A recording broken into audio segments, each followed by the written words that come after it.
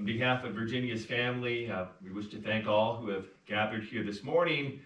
We have been listening to many of Virginia's uh, favorite uh, songs uh, as we celebrate uh, her life and ask God's mercy and grace to be upon her.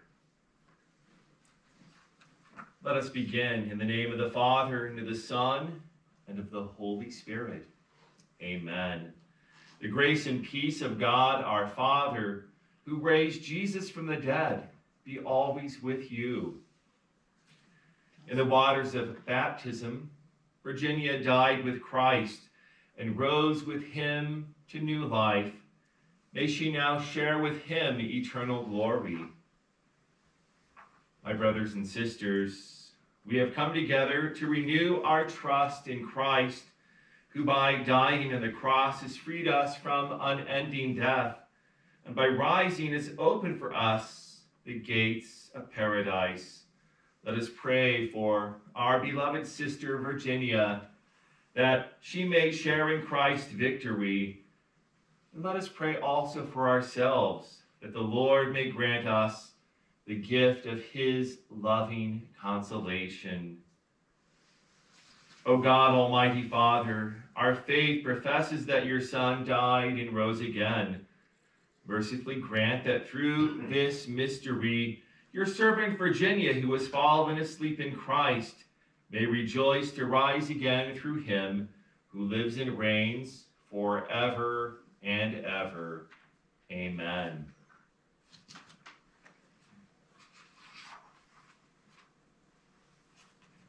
Let us now listen to this reading from the Holy Gospel according to Matthew. Jesus told his disciples this parable The kingdom of heaven will be like ten virgins who took their lamps and went out to meet the bridegroom. Five of them were foolish, and five were wise. The foolish ones, when taking their lamps, brought no oil with them but the wise brought flasks of oil with their lamps. Since the bridegroom was long delayed, they all became drowsy and fell asleep. At midnight there was a cry Behold, the bridegroom, come out to meet him. Then all those virgins got up and trimmed their lamps. The foolish one said to the wise, Give us some of your oil, for our lamps are going out. But they, but the wise ones replied, No, for there may not be enough for us and you. Go instead to the merchants and buy some for yourselves. Well, they went off to buy it. The bridegroom came, and those who were ready went into the wedding feast with him. Then the door was locked. Afterwards, the other virgins came and said, Lord, Lord, open the door for us. But he said in reply, Amen, I say to you, I do not know you. Therefore, stay awake, for you know neither the day nor the hour. The gospel of the Lord. Praise to you, Lord Jesus Christ. a week ago, this uh, past Monday, two weeks ago today, I received uh, a call from Serenity Hospice House that uh, uh, Virginia wished to speak with a priest. And so graciously, I, I had a wonderful conversation with uh, your beloved Virginia. We spoke about faith, we spoke about life, we spoke a little bit about her getting ready uh, for that ultimate journey from life into eternal life. During the course of our conversation, assuming maybe she might be Catholic, I asked her. She said, No, I, but I always wanted to become Catholic. I, have always had a desire uh, to be baptized. Having uh, uh, had a conversation and knowing her desire, I, I asked her, Would you like then to come into full communion with the Catholic Church? She said, I would very much uh, like that. And so uh, um, uh, this past a week ago, this past Sunday, had the opportunity uh, to uh, to offer her the sacraments of baptism, of confirmation, and of Holy Communion. In this way, our beloved Virginia was ready to meet the Lord. She had her lamp full of oil.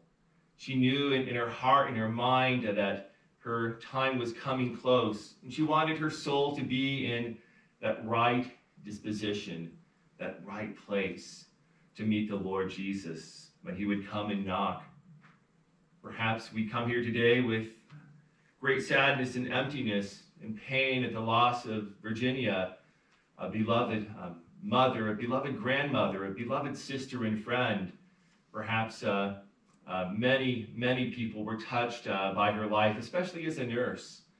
And yet, throughout her life, even though she may not have been a, a, a person of vocal faith, she nonetheless followed Jesus in her own quiet and, uh, and unique way.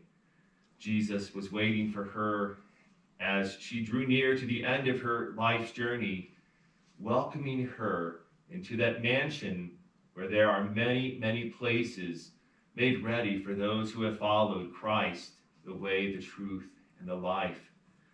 Let us pray today that as we say farewell to our beloved Virginia, we may learn from her faith and her trust in God. Let us pray that as she accepted Christ, as she received the grace of baptism, becoming an adopted daughter of God, her, her Heavenly Father, we may embrace our opportunity to draw near to the Lord, who is always eager to welcome us, even near the end of our journey, as he did our beloved Virginia.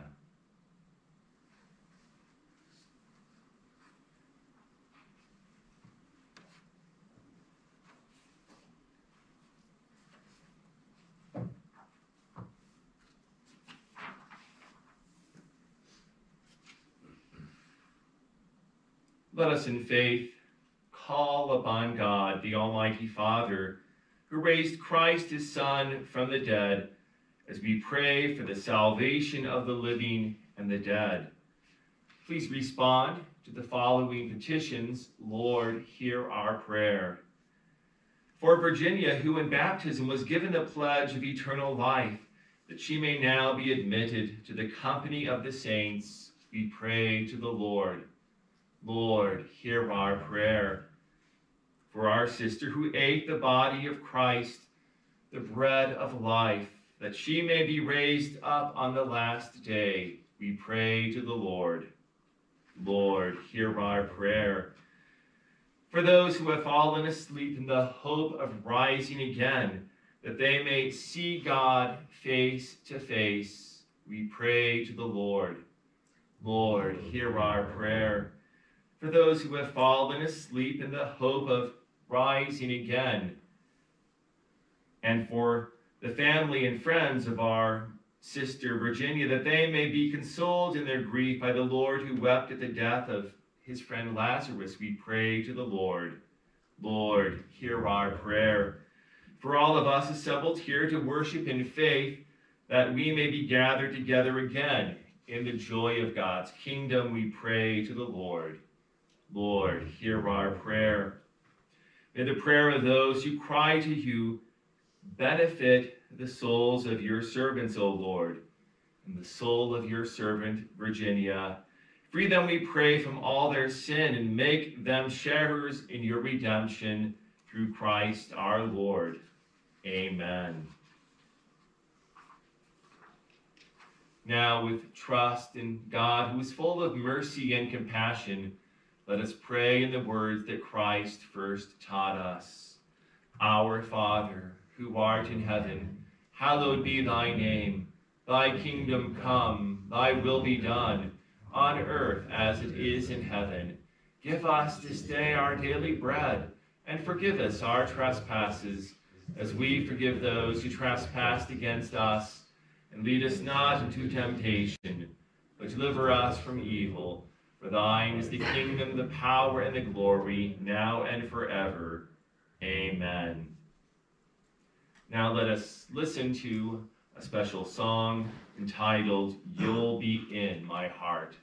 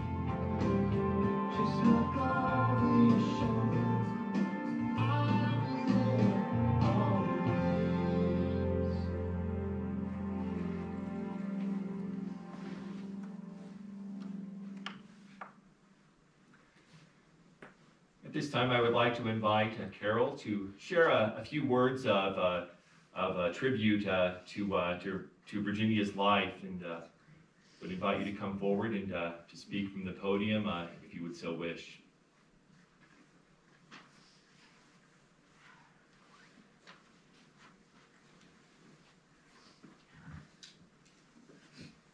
Kind of tough after that song. you can do it. Um, I have notes because I have a tendency to ramble on and on and get totally off subject. Um, I first met Veronica at Paslevin. She was on maternity leave with her twins, so I've had her for a good friend, a close friend, for 31 years. She's a wonderful mom, grandma. She loved her mother so much. Her mom was, they were so close. Um, she loved to, sh- Veronica loved to share stories about her mom when they, uh, when they were growing up, about how she cooked eggs different ways. And, um, Ron- and Virginia was fun and kind and worked hard. So it's easy to see where Veronica got all her wonderful traits from. Um, I had a couple hours by myself with Virginia at the Trinity House and we had such a good time. We laughed. We even had some belly laughs going. We were laughing about things and just talking about all the music we liked and concerts that we'd been to. Um, she, we especially loved Harry Chapin, and she we both agreed that when we had passed away, we would hear the song "Funeral" because we loved not funeral. I'm sorry, "Circle," because we love it. And um, I also had the honor of being at her ceremony for her um, going into the Catholic faith. And there was such a sense of peace around the room. You could just feel, it was a wonderful feeling. And she looked peaceful and gorgeous. She looked beautiful and gorgeous that day. And everybody that knows her or ever came in contact with her, you're, we're all going to miss her and love her. And I just want her to say hi to Harry when she gets to heaven.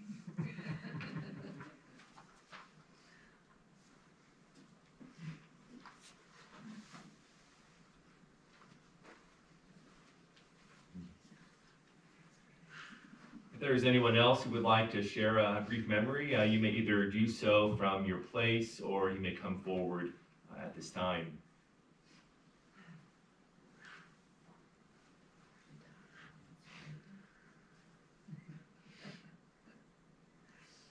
Ready to feed a stray cat smack in the arm. Oh, yes. Yeah. Yes. So many animals. She was, yeah. Yeah.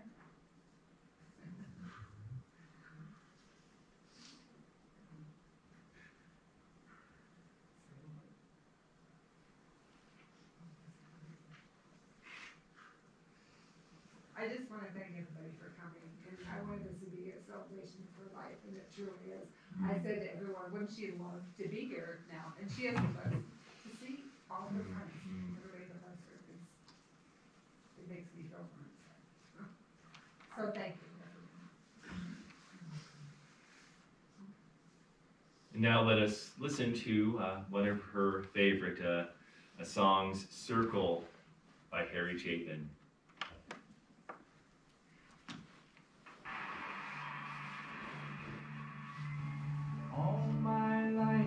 Circle.